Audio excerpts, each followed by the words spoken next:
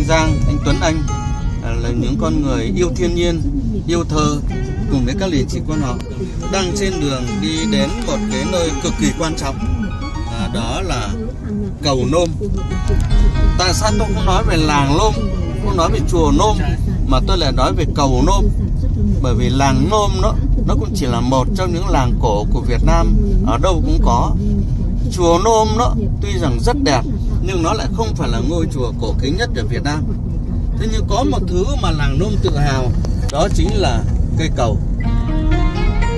Một cái cây cầu mà à, với tôi hiện nay đó thì ở Việt Nam tôi chưa thấy cái thứ hai. À, không biết nó có phải là độc nhất vô nhị không nhưng mà tôi chưa tìm thấy một cái cầu thứ hai có thể sánh được với cầu Nôm. Vậy cầu Nôm có gì mà đặc biệt thế? Thì lát nữa xin mời quý vị sẽ cùng tôi, cùng à, bạn Thanh Hải, cùng à, anh Giang, anh Tuấn Anh và các liền chị quan họ. Chúng tôi sẽ đến à, cầu Nôm.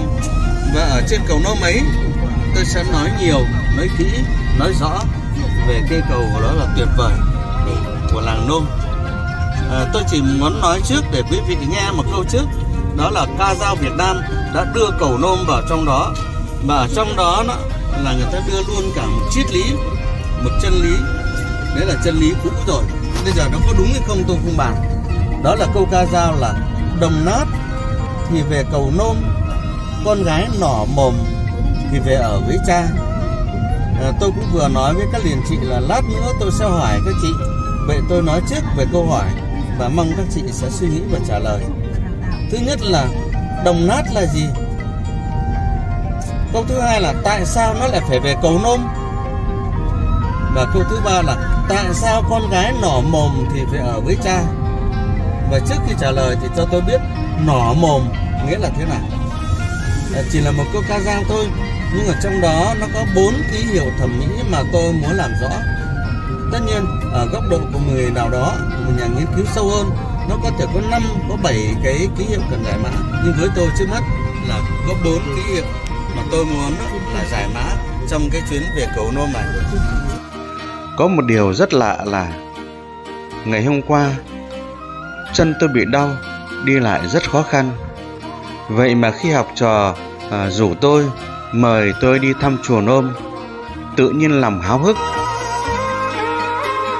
Thế nào mà bệnh à, của tôi lại đỡ dần, chân tôi lại khỏi? Phải chăng như người xưa nói, đây là cái duyên, cái duyên của tôi mới chùa Nôm, mới cầu Nôm. Người xưa cũng từng nói, Tu trăm năm mới chung thuyền, Tu nghìn năm mới liên duyên vợ chồng. Có lẽ vì tôi có duyên với cầu nôm, Có duyên với các liền trị quan họ thị cầu, Cho nên là hôm nay tôi được đi chung thuyền. Chung thuyền, tức là đi chung một chiếc xe ô tô Để về với chùa Nôm, Để đến thăm cầu Nôm.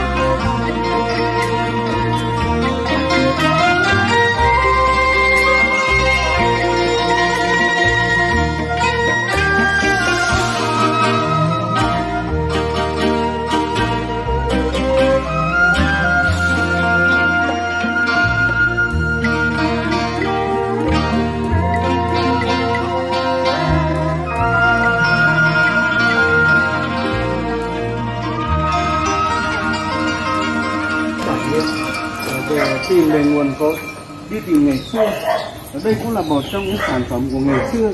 Chứ chứ còn ngày nay thì chúng ta không về đây. Ờ, chúng ta đến thăm cái cầu mà sắp sửa khánh thành. Như anh đang nói nó là cầu nối từ Phật tích sang bên cái ờ, phần thành. Nhất của Bắc Kinh. Thế còn cầu của Việt Nam thì nó có rất nhiều. Thế nhưng mà chúng ta không đến những cái cầu cầu đó. Mà ờ, với tôi, anh Giang, anh Tuấn Anh và các bạn, thì chúng ta lại đi tìm về ngày xưa. Tức là đi tìm về những cái mà là gần như không còn thì cái cầu này đó là lý do mà chúng ta và như tôi nói với bạn ngày hôm qua là tôi vẫn còn bị đau chân không thể đi được. Thế nhưng mà vì đi đến cầu đôm cho nên có lẽ cái sự hứng khởi nó làm cho bệnh tật của tôi cũng thuyên giảm. Và hôm nay là tôi đúng lời hẹn với anh Giang anh Tuấn anh và các bạn. Hôm nay tôi về được đây để là chứng kiến cùng với các bạn. À, chúng ta đến cầu đôm có thể các bạn đã đến trước tôi nhiều lần nhưng mà hiểu về cầu đôm đấy thì chắc chắn là các bạn chưa có điều kiện. Hôm nay tôi tìm đến anh Giang anh Tuấn là ngoài cái việc tôi nói cho các anh các chị về cầu đôm thì tôi còn nghe các anh các chị à, nói lại cho tôi. Bởi vì có nhiều cái thông tin mà sau đây tôi nói anh Giang có thể bổ sung. Cho nên tôi đang nói về cái phần mở đầu. Tại sao hôm nay tôi và các bạn lại có mặt ở cái cầu nôm này? Thì tôi nói như thế để chúng ta thấy. Ai đó đã từng nói là bao giờ cho đến ngày xưa. Điều đó chứng tỏ rằng ngày xưa rất đẹp cho nên người ta mưa cao là bao giờ cho đến ngày xưa. Và bây giờ chúng ta đúng đúng về trước một cái di sản từ ngày xưa. Và tôi nói với các bạn trong cuộc sống chúng ta ngoài cơm áo gạo tiền ngoài sự lo đây là những giờ hạnh nhất trong đời Ờ, tôi nói với các bạn tôi nói rất hay là hạnh phúc nhất trên đời là gì? Là được làm những việc mà mình thích. Ở đây ở các bạn có thích không ạ? Trả lời tôi không quá tuyệt vời. Vỗ tay cái Vâng. Rõ ràng chúng ta có thích thì chúng ta mới đi. Cho nên người ta nói này ở trên đời thì không có gì hạnh phúc khi ta được làm cái việc mà mình thích. Và cũng nhờ tôi làm cái việc mà mình thích cho nên hôm nay tôi lại khỏe mạnh và đi cùng với các bạn. Cách đây khoảng gần 50 năm anh anh. Lúc đó tôi về cái tổ đá này rồi tôi về cái chùa lô rồi. Nhưng lúc đó đó thì một là cái đầu tôi ấy, là kiến thức chưa có cho nên tới thấy nó bình thường thôi thế nhưng mà dần dần thì tôi nghiên cứu, tôi tìm hiểu, thì tôi thấy là không đến với cầu lông là thiệt thòi trong cuộc đời. Một trong những điểm mà sau này khi mà mình là nhà mắt ra đi thì mình phải chú ý tiếp. Thì mình cầu lông ngay các nhà mình, thì cách có mấy chục cây số thôi. Mình đi khắp thế thôi. Nhiều những cái danh lam thắng cảnh ở châu âu, ở các ở pháp ở ý chứ mình đi cả. Mà trong khi đó cái cầu ở ngay cạnh nhà mình, mà mình lại không biết, đó là một sai sót rất lớn. Vì thế cho nên bằng mọi giá khi bạn thanh hải hay là ngỏ lời mời thầy là hôm nay sẽ đi cùng với và giới thiệu có ai và tôi sướng quá. Tôi cầu mong làm sao thì hôm nay đứng trên cái cầu rôm này đó, chỉ là để là cho nó sinh động hơn. Thì đi xem thì phải hiểu. Tôi có nhớ câu là vô chi bất một không hiểu thì làm sao hâm mộ được. Chúng ta không hiểu về cầu nôm thì làm sao các bạn có thể thích cầu nôm như tôi được. Vì thế cho nên tôi muốn các bạn cùng hiểu như anh Giang như tôi như Tuấn Anh và như bạn Thanh Hải. Chúng tôi là những người lớn tuổi hơn chúng tôi trải nghiệm nhiều hơn cho nên chúng tôi hiểu và đó là lý do tại sao chúng tôi say và yêu cầu nôm và các bạn chỉ là người ấy là, là theo. Tức là ờ, cái lửa tôi truyền sang các bạn tức là thì các bạn tự nhiên là cứ hom theo chúng tôi và đi tìm cái mà chúng tôi yêu thích. Ờ, đó tôi phải nói như thế. À, ví dụ rằng đây có rất nhiều chị em. Ví dụ như bạn Ngọc cái là em của chị Thanh Hải mà chị Thanh Hải thì là học trò của tôi. Mà Thanh Hải gần đây cũng giống tôi cũng hơi hơi giản giản đã có lần tôi nói với uh, quan họ của nhiều làng cũng một chỗ thậm chí tôi còn nói cả trên truyền hình. Tôi bảo đừng như nghệ sĩ sơn mùi say quan họ để cả đời ngẩn ngơ. Tức là à, cái ngẩn ngơ tất nhiên trong ngoặc kép chứ còn nếu mà nặng quá thì nó cho đi bệnh viện rồi. Không đứng đây được. Cho nên cái ngẩn ngơ ở đây ờ, đừng như nghệ sĩ xuân mùi say quan họ để cả đời ngẩn ngơ. Cho nên hôm nay lẽ ra là tôi nằm ở nhà trời nắng nôi như thế này mà tôi đương vì bệnh tật thế nhưng mà vì say quan họ vì say ngày xưa cho nên tôi đưa các bạn về đây. Thế thì bây giờ à, để cho thay đổi không khí thì tôi muốn hỏi các bạn một vài câu. Và tôi nói trước là à, bạn Thanh Hải, anh Giang, anh Tuấn Anh ấy, thì câu nào mà dễ thì nhường cho các chị. Còn câu nào khó thì các anh sẽ lên tiếng thứ nhất là tôi muốn nói cái câu ca dao nổi tiếng mà tôi xin thưa, câu ca dao này tôi biết từ lúc tôi 6 tuổi. Từ lúc 6 tuổi, tôi đã thuộc câu ca dao này. Đồng nát thì về cầu nôn con gái ngỏ mồm về ở với cha, hoặc là thì về với cha. Thì cái ca dao nó có thể sai một vài từ, nó có thể khác nhau bản thế nhưng mà nó tóm lại, đồng nát thì về cầu nôn con gái nỏ mồm thì về ở với cha. Đọc nhớ nhé nếu mà nỏ mồm quá là về ở với cha. Thế thì bây giờ tôi hỏi các bạn trong này nó có những cái câu rất hay mà nó liên quan đến ngôn ngữ của tiếng Việt. Ban nãy tôi câu hỏi Giang thì anh Tuấn Anh cũng trả lời được ngay thì các bạn đã lớn tuổi. Nhưng mà các bạn thì không không biết đâu đồng nát là gì? Ờ, các bạn nào cho các lời con là ai biết trả lời không biết hơi hơi thì biết sai càng tốt biết sai thì tôi có cái cớ để mà tôi chỉnh sửa đồng nát là gì Ờ, quả. ở đây ờ, tập trung đồng đồng quê của nơi mà người ta buôn ờ, nhờ thu mua phế liệu em nghĩ như vậy Dạ, dạ. Ờ, tôi chỉ hỏi một câu như em trả lời được hai ba câu rồi đấy. Ờ, thế thì là này, trước hết tôi phải nói là đồng nát bạn trả lời như thế là chuẩn rồi. Nếu mà tôi là giáo viên chấm bài hôm nay tôi cho bạn điểm 9 hoặc 9,5 dạ, đúng Ờ, tuy rằng đầy đủ nhưng tôi muốn nói rõ thêm. Ờ, ở ở cái tuổi như các chị đó thì cũng ít để ý.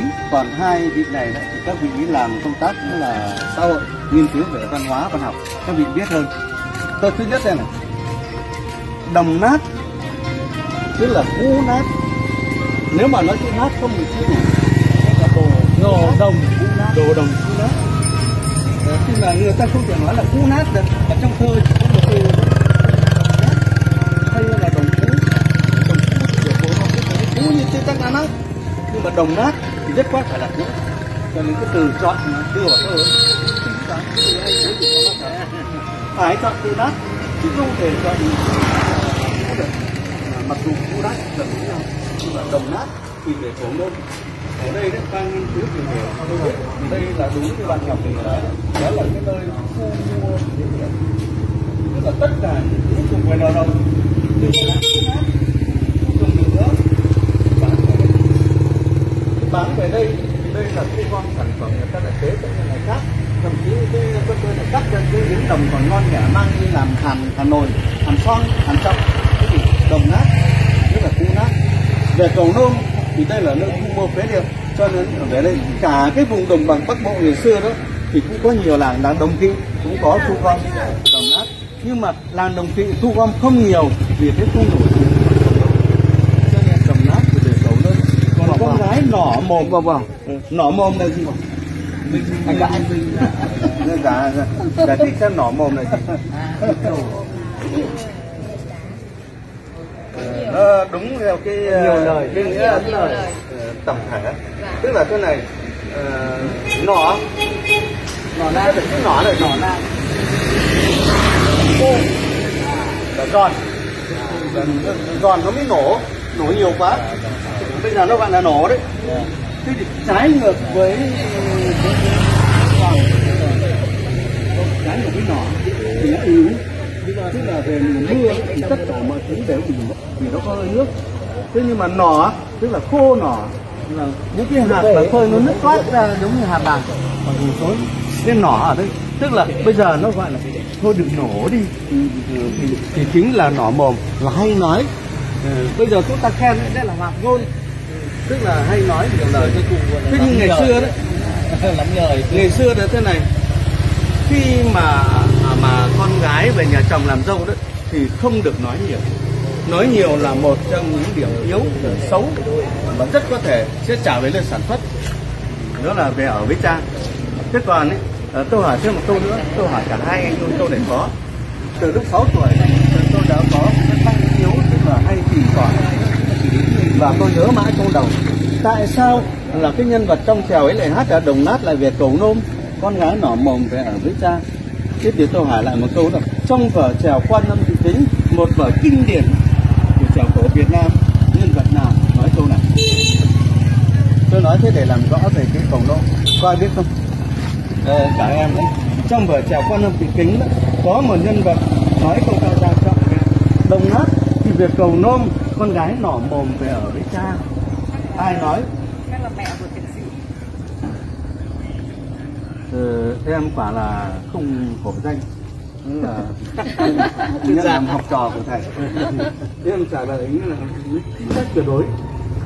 Thế nhưng mà hỏi trong câu này thì tại sao thầy có thể cho 9,5 Nhưng mà hỏi em, nhân vật ấy tên là gì?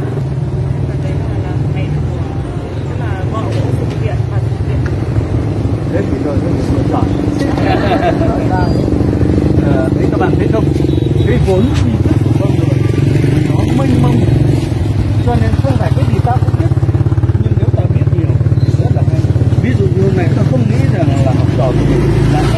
trong này bởi vì tôi câu ghi ở trong này, khó. Còn mấy cái câu kia tôi ghi là dễ. Cho nên là khó thì hỏi ai, về dễ thì hỏi ai. Cho nên là, thầy phải cảm ơn em. Quả nhiên là